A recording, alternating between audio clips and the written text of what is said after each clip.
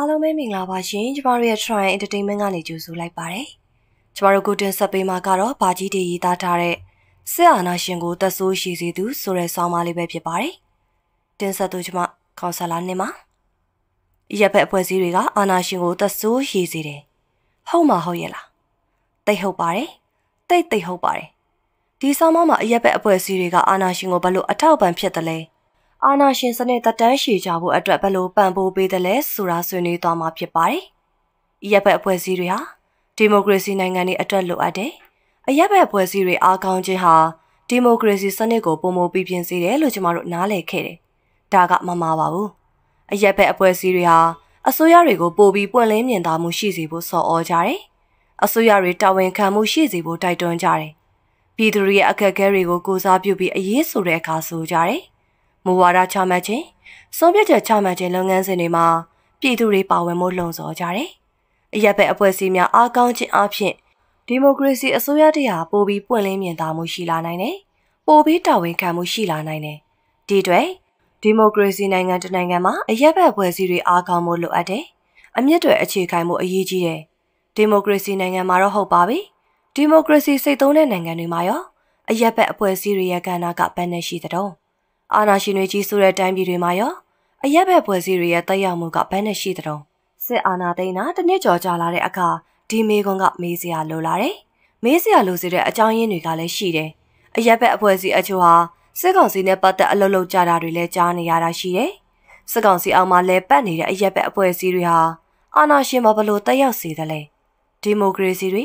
လူ့အခွင့်အရေးခိုင်မာအားကောင်းလာစေသလား။ဒါမှမဟုတ် ဒီမိုကရေစီနဲ့လူအခွင့်အရေးကိုပိုပြီးပြတ်သုံးစေသလားစောင့်ကြည့်ရမှာဖြစ်တယ်။လေးလာသုံးသက်ကြည့်ကြရမှာဖြစ်တယ်။ EFF ဖွဲ့စည်းလို့ပြောတဲ့အခါအစိုးရမဟုတ်သောနိုင်ငံတကာအဖွဲ့အစည်းများ INGO အစိုးရမဟုတ်သောပြည်တွင်းအဖွဲ့အစည်းများ NGO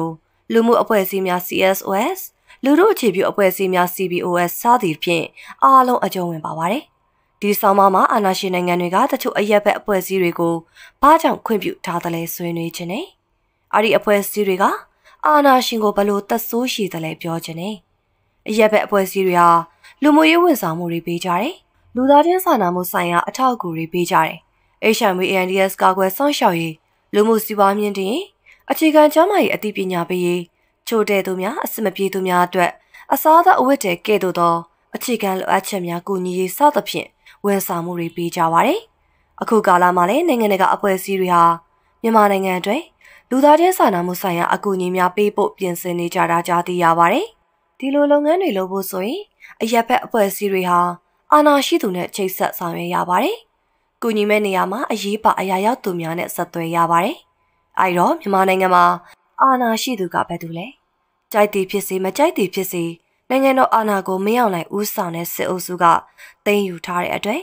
သူတို့လက်ထဲမှာအတိုင်းအတာတစ်ခုအထိအာဏာရှိနေပါတယ်။ မြို့တွေကိုစစ်ကောင်စီကထိန်းချုပ်ထားပါတယ်။နိုင်ငံတော်အရေးမြစ်တွေကိုစစ်ကောင်စီကထိန်းချုပ်ထားပါတယ်။သို့တော့ပြည်သူဘက်မှလည်းအမျိုးသားညီညွတ်ရေးအစိုးရနဲ့မဟာမိတ်အင်အားစုတွေထိန်းချုပ်ထားတဲ့နေမြေတွေအများအပြားရှိပါတယ်။အခုချိန်မှာစစ်ကောင်စီကလည်းအာဏာကိုအပြည့်အဝမရရှိပါဘူး။ပြည်သူအစိုးရ NUG ကလည်းပြည်သူအာဏာကိုအပြည့်အဝပြန်လည်ရယူနိုင်ခြင်းမရှိသေးပါဘူး။အခုလိုကာလမျိုးမှာနိုင်ငံတကာအဖွဲ့အစည်းတွေပါဝင်အရက်ဘက်အဖွဲ့အစည်းတွေဟာ စစ်ကောင်စီနဲ့ပလဲပနန်းတင်အောင်နေပြီးအထက်မှာဖော်ပြခဲ့တဲ့အရက်ဘက်အဖွဲ့အစည်းလုပ်ငန်းတွေလူမှုရေးဝန်ဆောင်မှုလုပ်ငန်းတွေကိုဆက်လုပ်နေကြောင်းတစွန်းတစကြားရပါတယ်။ဒီလိုဝန်ဆောင်မှုပေးတဲ့အခါလွတ်လွတ်လပ်လပ်လုပ်လို့ရတာမျိုးမဟုတ်ပါ။စစ်ကောင်စီနဲ့ဖက်လက်တကင်းပလင်းတို့ဘူးဆိုလုပ်ပြီးမှသာလုပ်ငန်းတွေလုပ်ကင်ခွင့်ရခြင်းဖြစ်ပါတယ်။ဟိုတလောကနိုင်ငံတကာအဖွဲ့အစည်းအချို့ရဲ့မင်းအောင်လှိုင်ကိုဝင်ကြီးချုပ်လို့လိမ့်မှုပြီးပို့တဲ့စာကိုကြည့်ရင်အဲ့လိုအဖွဲ့ရရှိနိုင်တယ်ဆိုတာမှန်ဆနိုင်ပါတယ်။ရုံးလုပ်ငန်းဆိုင်ရာအမှာ administrative error လို့စာထုတ်တောင်းပန်ပေမဲ့နိုင်ငံတကာအဖွဲ့အစည်းတွေကအဲ့လိုအမားကိုကျွလွန်နေဆိုတာယုံနိုင်စရာမရှိပါပြီးတော့မယောင်နိုင်စီကိုပို့တဲ့စာကိုရေးတဲ့သူလိမ့်မှုတဲ့သူဆိုတာလေတော်ယုံရာတို့ကြီးသူကလှုပ်တဲ့ကိစ္စမဟုတ်ပါမောင်သိန်းစင်လက်ထက်ကကွန်ပျူတာအမားလိုမျိုးကြောင်တောင်တောင်အကြောင်းပြချက်မျှတာဖြစ်ပါတယ်ဒါလိုမျိုးစစ်ကောင်စီနဲ့ကတ်ချွဲနှက်ချွဲပေါင်းပြီးအလုပ်လုပ်တဲ့အခါလူမှုရေးဝန်ဆောင်မှုတွေလူသားချင်းစာနာမှုဆိုင်ရာအကူအညီတွေဟာ အမှန်တကယ်လိုအပ်နေတဲ့ပြည်သူလူထုစီမရောက်နိုင်ပါစစ်ကောင်စီကနိုင်ငံရေးအကျိုးမြတ်အတွက်အရက်ဘက်ဖွဲ့စည်းများကိုအတုံးချမှာဖြစ်ပါတယ်လူသားချင်းစာနာမှုဆိုင်ရာအကူအညီတွေကိုစစ်ကောင်စီရဲ့နိုင်ငံရေးအကျိုးမြတ်အတွက်အတုံးချမှုဟာအင်မတန်ယွန်ရှာပွဲဖြစ်ပါတယ်။စကောင်စီဟာအရက်ဘက်အဖွဲ့အစည်းတွေကိုသူတို့ကိုထောက်ခံတဲ့လူတစုစီအတွက်ပဲအလုပ်လုပ်ခွင့်ပြုမယ်။သူတို့ကိုမထောက်ခံတဲ့ပြည်သူတွေကိုအကူအညီပေးပြီးစီးရုံးမယ်။အလို့လက်ဖက်နဲ့မျက်နှာလုံးမယ်။ငါတို့ကိုထောက်ခံရင်အကူအညီတွေရမယ်။ ဒါမျိုးဝန်ဆောင်မှုတွေရမယ်။မဟုတ်ရင်မင်းတို့ရွာတော့ပြကြပြီးမတ်ဆိုတဲ့အချိုးမျိုးချိုးကြလိမ့်မယ်။အရက်ဘက်အဖွဲ့အစည်းတွေဟာလူမှုရေးလုပ်ငန်းတွေအကူအညီတွေကိုစစ်ကောင်စီခွင့်ပြုရာနေရာမှာပဲလုပ်ခွင့်ရှိမယ်။စစ်ကောင်စီအတုံးချတာကိုလည်းပြန်ဖြေရှင်းခွင့်ရှိမှာမဟုတ်ဘူး။စစ်ကောင်စီကသူတို့စစ်အုပ်စုအတွက်အတုံးချမှာဖြစ်တယ်။ဒါကိုအရက်ဘက်ဖွဲ့စည်းတွေကပူးပေါင်းဆောင်ရွက်နေတာဟာကြံရပါဖြစ်ပါတယ်။တနည်းအားဖြင့် စစ်ကောင်စီရဲ့အပြတ်မောက်လုပ်ငန်းတွေကိုတွယ်ဝိုက်သောနည်းဖြင့်အားပေးအမြောက်ပြုနေတာဖြစ်ပါတယ်။အားလုံးပဲစဉ်းစားကြည့်ပါ။ပြည်သူတွေကိုတပ်ဖြတ်နေတဲ့စစ်မိတ်စာကပြည်သူကိုဘယ်လိုကဲမလဲ။ပြည်သူအိုးအိမ်တွေကြေးရွာတွေကိုမိရှုဖျက်ဆီးနေတဲ့စစ်ဘလူးတွေကပြည်သူကိုကူညီမယ်တဲ့လားတတိုင်းပြည်လုံးဒုက္ခအတီးရောက်အောင်စိုးသွမ်းရုံမာနေတဲ့အကြမ်းဖက်စစ်တပ်နဲ့အလုတ်တွဲလုပ်ခြင်းဟာတခုတယူကန်ခြင်းပဲဖြစ်ပါတယ်စစ်ကောင်စီနဲ့ပေါင်းတဲ့အရက်ဘက်ပွဲစည်းတွေဟာ ဒါမျိုးစစ်ကောင်စီကျူးဆွဲရာကာယုံနဲ့ပြီးပြီလားဆိုတော့မပြီးသေးပါဘူးအရက်ဘက်အဖွဲ့အစည်းတွေဟာစီမံကိန်းတစ်ခုမလုပ်ခင်မှာစီမံကိန်းအဆိုပြုလာတွေရေးရလေးရှိတယ်စီမံကိန်းလုပ်နေချိန်မှာလည်းအစီရင်ခံစာတွေရေးရတယ်စီမံကိန်းပြီးတော့လည်းစီမံကိန်းပြီးမြောက်ကြောင်းအစီရင်ခံစာတွေရေးရတယ်။အဲ့ဒီအစီရင်ခံစာအမျိုးမျိုးအရေးအသားမျိုးမျိုးကိုအလူရှင်အဖွဲ့အစည်းတွေအလူရှင်နိုင်ငံတွေဖတ်ကြပါတယ်။ယနေ့ခေတ်မှာနိုင်ငံတကာအရက်ဘက်အဖွဲ့အစည်းတွေရဲ့အင်အားဟာကြီးပါတယ်။ ဒီကဏ္ဍမှာလည်းပတ်နေတဲ့ဗန်နာငွေပမာဏဟာကြီးမားပါတယ်။တက်ရောက်မှုတွေကလည်းကြီးမားပါတယ်။နိုင်ငံတကာအရေးမှာသူတို့ကအင်အားကြီးတဲ့အနေအထားမှာရှိတယ်။ဆိုတော့ကခုနကပြောတဲ့အစီရင်ခံစာအသီးသီးမှာဘလို့တွေရည်သားကြပါသလဲမြန်မာနိုင်ငံအခြေအနေကိုဘလို့ပုံဖော်ကြပါသလဲဒီအစီရင်ခံစာတွေဟာပြည်သူအပေါ်အလွန်အမင်းတက်ရောက်မှုရှိပေမဲ့ပြည်သူတွေဖတ်ခွင့်သိခွင့်မရှိတဲ့အစီရင်ခံစာများဖြစ်ပါတယ်စစ်ကောင်စီနဲ့ပူးပေါင်းနေတဲ့ အကြမ်းဖက်အဖွဲ့အစည်းတွေဟာနိုင်ငံတကာအစိုးရများနဲ့လည်းအခြေဆက်ရှိကောင်းရှိနိုင်ပါတယ်ပြည်တွင်းအဖွဲ့အစည်းတွေနဲ့နိုင်ငံတကာအဖွဲ့တွေဆိုရင်တန်ယုံအသီးသီးနဲ့အဆက်အသွယ်ရှိတတ်ကြပါတယ်သူတို့ဟာတန်ယုံတွေကိုဘလို့သတင်းစကားတွေပေးနေပါသလဲ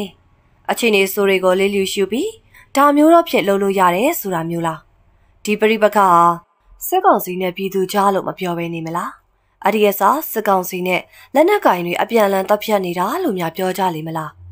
စစ်ကောင်စီကအကျိုးအဖွဲ့အစည်းတွေကိုဆက်လက်လက်ပတ်ခွင့်ပြုထားတယ်။ဘာဖြစ်လို့လဲဆိုတော့သူတို့အတွက်အကျိုးရှိလို့ပါ။သူတို့သက်ဆိုးရှိစေဖို့အတွက်အထောက်အကူပြုလို့ပါ။ဝန်ဆောင်မှုတွေအကူအညီတွေကိုနိုင်ငံရေးအကျိုးမြတ်အတွက်အသုံးချနိုင်မယ်။နိုင်ငံတကာကိုသတင်းစကားပါတဲ့အခါစစ်ကောင်စီရဲ့အကြမ်းဖက်လုပ်ငန်းတွေကိုပေါ်ရောစေနိုင်မယ်။နိုင်ငံတကာကကူညီတာ